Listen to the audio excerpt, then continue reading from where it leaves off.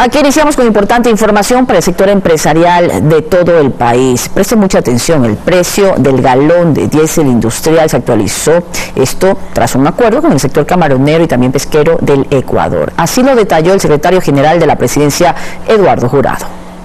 El secretario general. El gobierno nacional anunció los nuevos precios del diésel industrial. Esta decisión se tomó como parte del plan de incentivos y acciones que desarrolla el gobierno para los sectores pesquero y camaronero. En el marco del plan de prosperidad anunciado el pasado 21 de agosto por el presidente Lenín Moreno.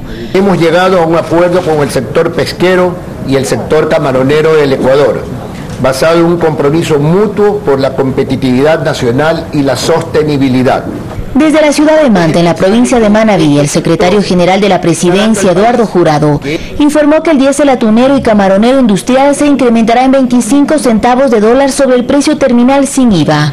En cuanto a otras pesquerías, el costo se aumentará en 10 centavos de dólar y se congelará en ese valor por un periodo de dos años. Desde la, península Centelena estamos de acuerdo en la alza de 10 centavos.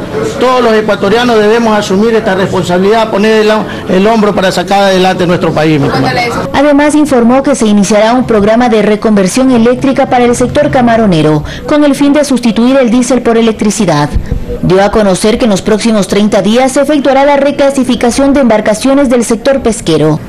Se activará de manera inmediata una línea preferencial de crédito para capital de trabajo en este sector a través de Ban Ecuador Jurado señaló que el Ministerio de Hidrocarburos será el encargado de publicar el nuevo tarifario que entrará en vigencia de manera inmediata y presentó otras noticias favorables para el sector. Se hará la gestión con la Asamblea Nacional para analizar la factibilidad de la creación del seguro del pescador en el contexto del seguro social campesino.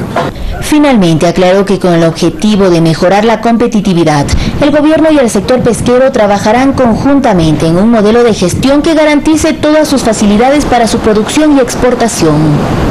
Olga Velasco, Telediario.